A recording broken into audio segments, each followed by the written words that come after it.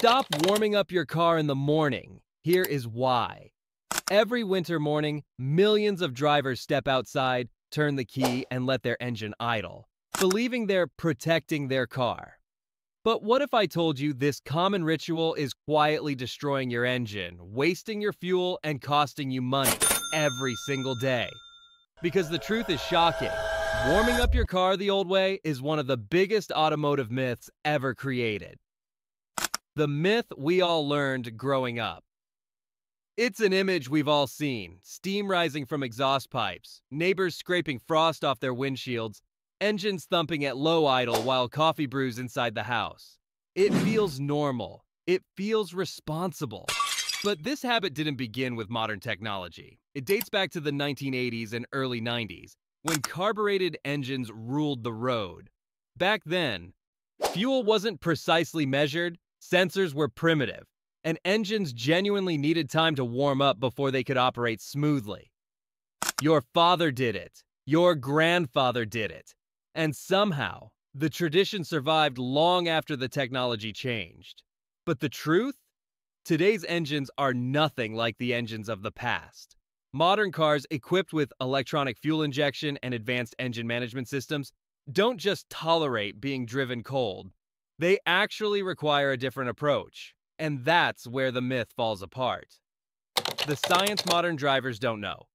Inside every modern engine, dozens of sensors talk to the car's computer in real time air temperature sensors, mass airflow sensors, oxygen sensors, throttle position sensors, all adjusting fuel delivery with microscopic precision.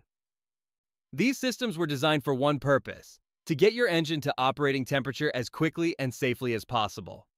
But here's the twist your engine does not warm up efficiently at idle. An engine reaches its safest operating temperature faster when it's driven gently, not sitting still. Idling wastes fuel, increases unburned hydrocarbons, and keeps the oil thick for longer. And thick oil means more wear on internal components.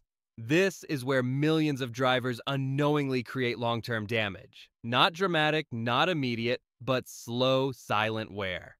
The hidden damage idling causes. When your engine is cold, oil is dense almost syrup like. It can't properly lubricate critical parts such as piston rings, bearings, cylinder walls, camshaft lobes. While idling, your engine runs a rich fuel mixture to prevent stalling in the cold. But rich mixtures lead to a dangerous problem fuel washdown, raw gasoline slipping past the piston rings and diluting your motor oil. Diluted oil loses its ability to protect the engine, which accelerates wear, especially during cold starts. The longer you idle, the worse this dilution becomes. And then there's carbon buildup. Cold idling never heats the engine enough to burn off deposits. Instead, soot starts accumulating on the spark plugs, intake valves, and exhaust systems, slowly robbing your engine of efficiency, responsiveness, and fuel economy. You think you're protecting your car. In reality, you're aging it faster. What automakers secretly want you to know. If you dig through owner's manuals from Toyota, Honda, Ford, BMW, and almost every major automaker, you'll find a very specific line hidden in the cold weather section. Drive the vehicle normally after 30 seconds of idling. Not 5 minutes, not 10 minutes, just 30 seconds. Why? Because automakers design engines to operate correctly almost immediately. As long as you don't floor it, rev aggressively, or drive at high loads. Gentle driving warms the engine efficiently, distributes oil evenly, and reduces carbon buildup. But here's what might shock you. In places like Canada and the northern US, dealers have started reporting increased warranty claims caused by excessive cold idling, worn pistons, clogged catalytic converters, carbon choked intake valves. And every time, the cause is the same drivers following outdated advice from decades ago. Why warming up your car feels good but isn't good. Let's be honest. The warm up ritual is comforting. You step outside, start the engine, go back inside, sip your coffee, and wait for that glorious heater to blast warm air. It feels like you're doing the right thing. But the truth is more psychological than mechanical. You're warming yourself, not your car. The cabin heater stays cold until the engine warms up, so idling just delays the process. Driving gently warms the engine and the interior much faster and more efficiently. In other words, your comfort is costing your engine its long term health. The modern warm up method you should actually use. So, what's the right way to warm up your car in 2025? It's surprisingly simple. Step 1 Start the engine. Step 2 Wait 20 30 seconds. Step 3 Drive off gently. That's it. Avoid sudden acceleration, keep RPMs low, and let the engine reach operating temperature naturally. Your oil will circulate quicker, your sensors will stabilize, and your emission system will function properly, all within minutes. And yes, your heater will warm the cabin faster too. What about extreme winters? Chai 20 degrees, 30 degrees C? Great question. In brutal conditions, your engine still doesn't need a long idle, but the rest of your car might. Transmission fluid, power steering fluid, and even your tires behave differently in deep cold. Here's what mechanics in Alaska recommend. Let the car run for 60 seconds, not 10 minutes. Clear ice and snow. Drive off gently, allowing the drivetrain to warm gradually. Even in extreme climates, long warm-ups are unnecessary. But what if you use remote start, the remote start trap? Remote start systems exploded in popularity. They're convenient, comfortable, and luxurious. But they've also encouraged one of the worst modern habits 15 20 minutes of idling every morning. Your engine wasn't designed for it. Your catalytic converter hates it, your fuel economy suffers, your wallet feels it the most. And here's something many remote start users don't know Long idling creates moisture inside the exhaust system. Over time, this moisture rusts the muffler from the inside out, especially on older vehicles. If you rely on remote start, use it smartly. Set timers for 2 to 3 minutes maximum, then begin driving gently. The environmental cost. Nobody talks about 5 minutes of cold idling may not seem like a big deal, but consider this. If 50 million drivers idle for 5 minutes each winter morning, that's over 4 million gallons of wasted fuel per day. Multiply that across an entire winter season, and the numbers become staggering. This isn't just an engine issue, it's a national problem. Cities like New York, Toronto, and Vancouver have even passed anti idling laws because cold start idling produces enormous amounts of unburned hydrocarbons that contribute to smog.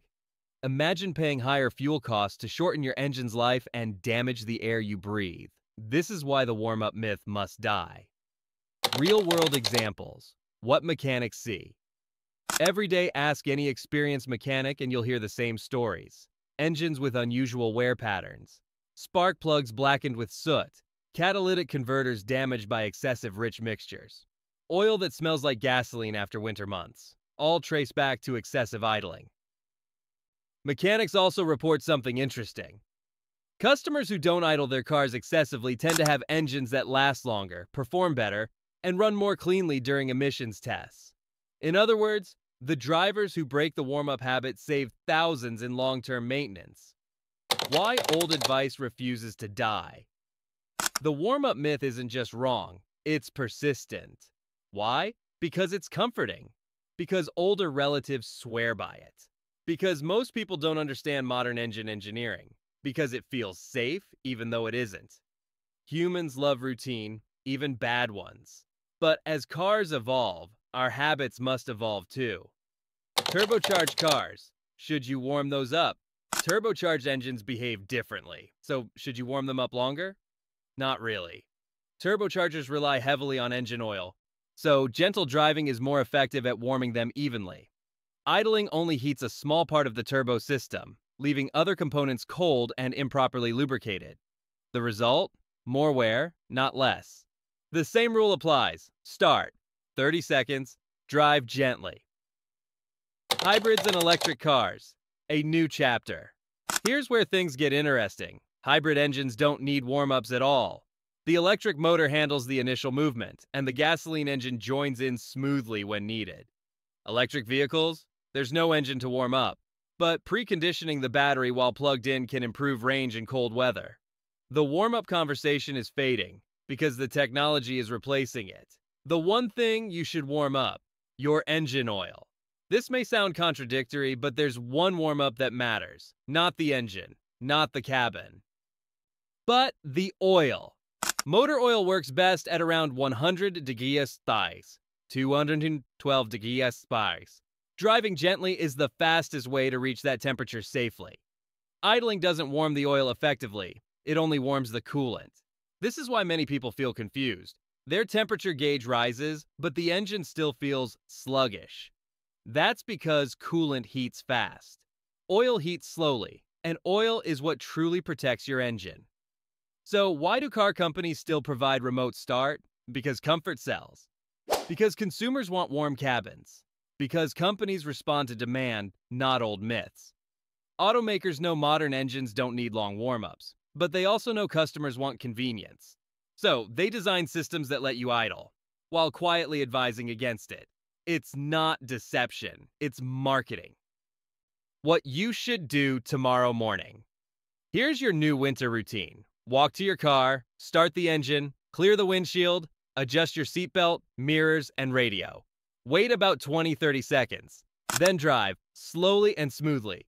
You'll save fuel, you'll reduce emissions, you'll protect your engine, and you'll break one of the biggest automotive myths of all time. The bigger picture cars are changing faster than habits. In a world of turbo engines, hybrid systems, electric drivetrains, and advanced lubricants, the old rulebook simply doesn't apply anymore. Cars are smarter, engines are cleaner, technology is sharper. But many drivers are still stuck in 30 year old habits. The future belongs to those who adapt, not those who cling to myths. Closing message A thought to leave with tomorrow morning. When you turn the key and see your breath in the cold air, ask yourself one question Am I doing this because my car needs it or because I've always done it?